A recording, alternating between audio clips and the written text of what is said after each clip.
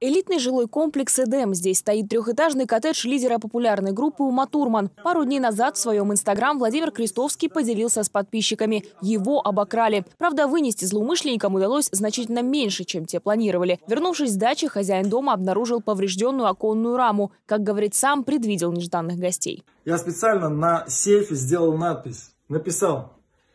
Дорогие воры, в этом сейфе нет ни драгоценностей, ни денег. Не тратьте зря время.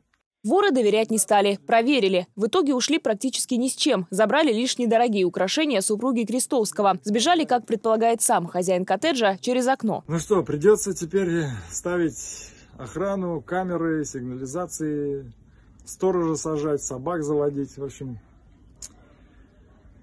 такие пироги. Музыкант призывает жителей комплекса «Эдем» быть осторожными. Это уже не первый случай вторжения хулиганов. Сейчас поиском воров занимается полиция.